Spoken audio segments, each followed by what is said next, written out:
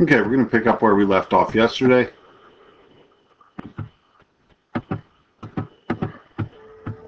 With another example here. So, if you recall, this is what we did yesterday. We first went through and started grouping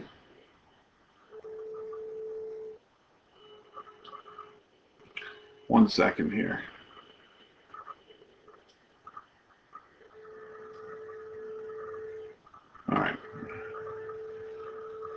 We first went through and started grouping the first two terms together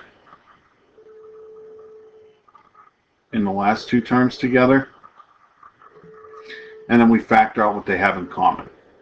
So in this case, I have a 7 goes into 35 and a 7 goes into 42. So I'm going to factor out a 7. Then I also have two A's because there's a total of 3 and two A's here. So I'm going to pull an A squared out. That leaves me left with 5A minus 6.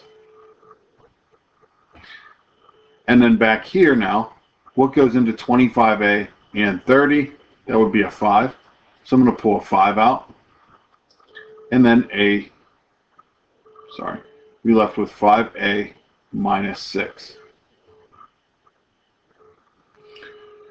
Group the front two together, 7a squared plus 5. And then 5a minus 6. And we're done.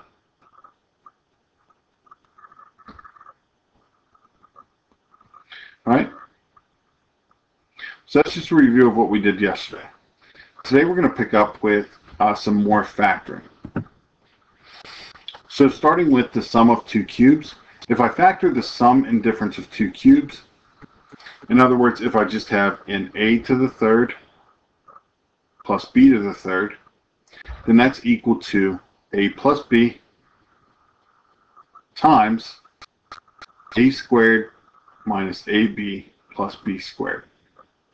If it's a difference of two cubes, or a cubed minus b cubed, then that's going to be a minus b in front, and then a squared plus ab plus b squared. Only difference is, if I look up here, if this is a plus, it's going to be a plus b on the outside, and it's a squared minus ab plus b squared. If it's a minus out here, it's a minus that pulls out in front, and then it's just pluses inside.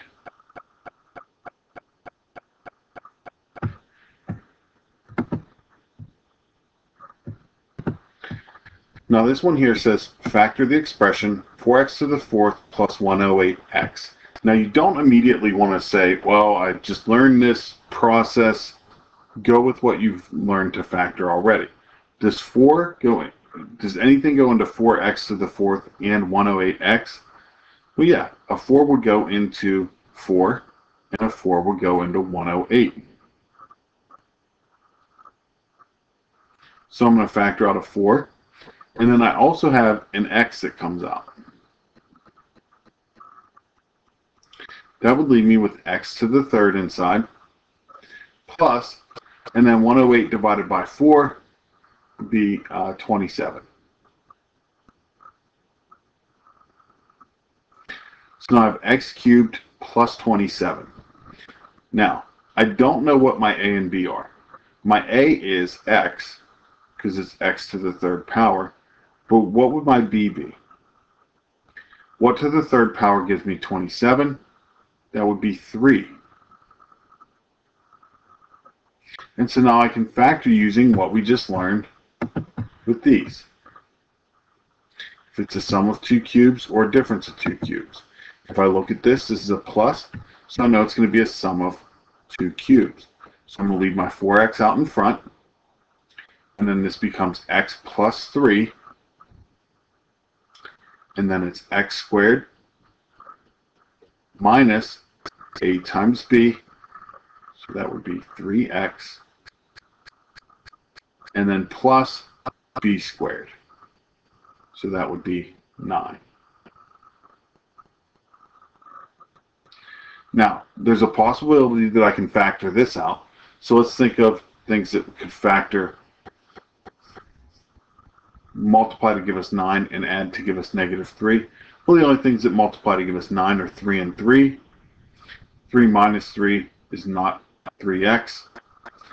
Um, and then we look at our other possibility, which would be 9 and 1. 9 minus 1 is not negative 3x. So this is as far as this will factor for us.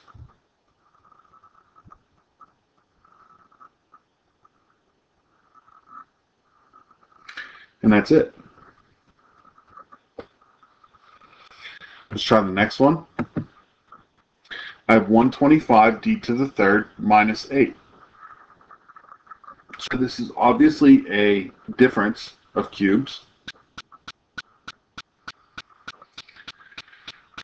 Let's see if something to the third power gives us 125. In order to do that, you could go on Desmos and find the cube root button. It has the 3 outside of the root and do the cube root of 125. You'll find that that's going to be 5. You can also do that for the 8 as well. So I'm going to get my A is 5D and my B is 2. Now I just use what I learned in the other portion. It's A, which is 5D, minus 2, A minus B, and then it's A squared, which would be 25D squared, plus AB plus B squared. So then I do A times B, that gives me 10D, and then plus B squared, which would be 4.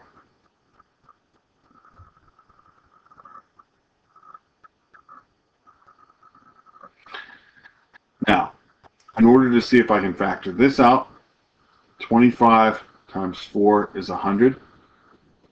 So think of the factors of 100 that would multiply or add together to give you 10.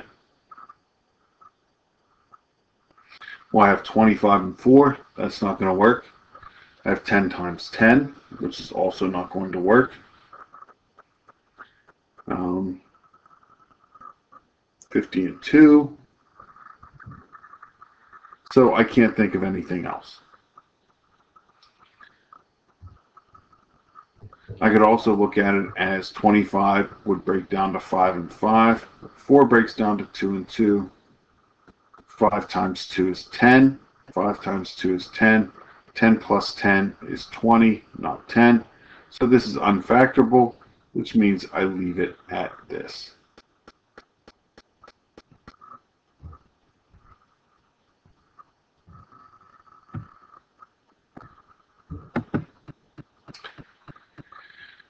Try this one. I have 8 plus z to the 6th. Now, this is not to the third power, and there's nothing that I can factor out of both of these. So what I can think about is, is there anything that I could raise to the third power to get to the sixth? Remember that when you raise an exponent to a power, you multiply your exponents. So if I did z squared raised to the third, multiply those exponents, 2 times 3 would give me z to the sixth. So my a in this case is 2, because 2 to the third is 8. And my b is z squared. Now, this is a plus, so it tells us that it's going to be a plus b, so 2 plus z squared. And then it's a squared, which would be 4, minus ab, which would be 2z squared and then plus b squared. z squared squared, that's going to give us z to the fourth.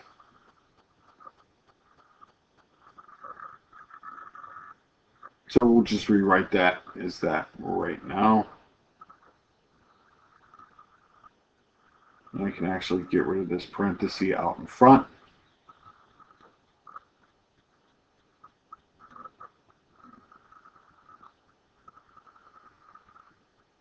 And that's it.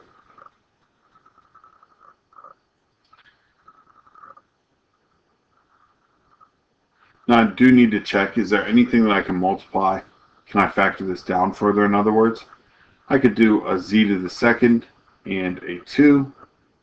That would be 2z to the second and then minus or uh, negative 2d, 2z to the second and then minus 2z to the second which is not going to give me negative 2z to the second in the middle. So I'm done.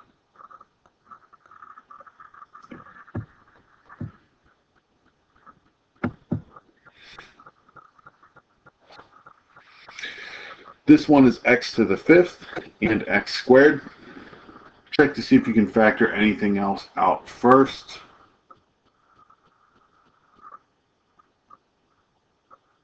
In this case, we can't. We can pull an x squared out, and I can pull a 2 out. That would give me 2x squared. Take two x's away. That would be x to the third minus 8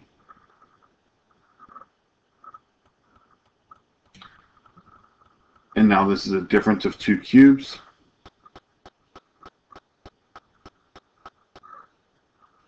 So 2x stays out in front. Then it's x minus 2. And then everything inside is a plus. x squared plus 8 times b. I guess I didn't list out my a's. a is x and b is 2. So AB would be 2x, and then b squared, which would be 4.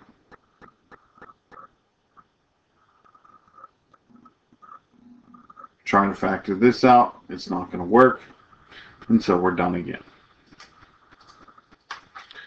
All right. We're going to go over some more problems like that tomorrow. Um, as you're watching this video, you should be trying to do all those examples on your own and then watching me do them. See if you did it right.